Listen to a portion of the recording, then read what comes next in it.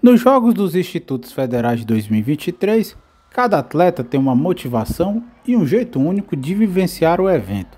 Quando somente a voz não ajuda, tem um megafone. A Vanessa é do time de futsal do IFCE e integrante da torcida organizada Furacão Cearense. A atleta conta como é a vida de torcedora.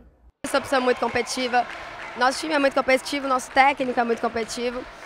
Mas querendo ou não, é, são jogos escolares, são jogos institucionais, então a gente se diverte muito junto, a gente faz muitas companheiras é, que querendo ou não, eu não teria a chance de conhecer meninas de Tapipoca, que eu nunca fui, de Baturité e outros campos daqui de Ceará, que provavelmente eu não teria a chance de conhecer e você acaba criando um vínculo com pessoas acho que esse encontro é o que o GIF mais proporciona, esse encontro de, muitas, de muitos lugares. Agora falando um pouquinho aí do megafone, como é que você tem utilizado o megafone aí na, durante a, os jogos? Eu uso para puxar a torcida, puxar o grito das torcidas. Agora eu descobri uma nova função, que é essa aqui da música. E aí quando as meninas demoravam para sacar no vôlei, a gente colocava essa música aqui, ó. Tá ligado? Também há quem já chega campeão. É o caso do Matheus, do Instituto Federal de São Paulo.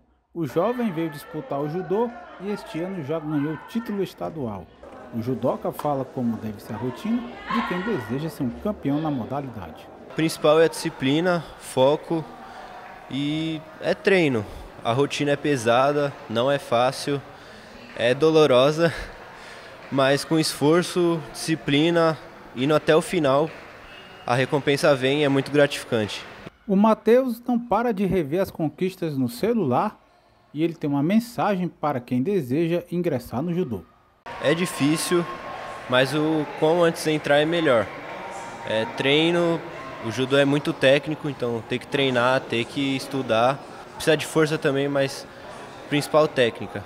O quão melhor você treinar, você consegue. Tudo é possível.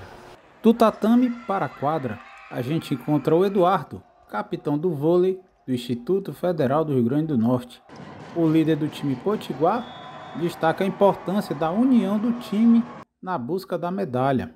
Mas esse ano viemos para ganhar e para coroar esse ciclo. Está sendo uma experiência muito boa que além do esporte a gente consegue ter esse momento né, de viagem, de resenha, de diversão e esse afunilamento das, das conexões do grupo.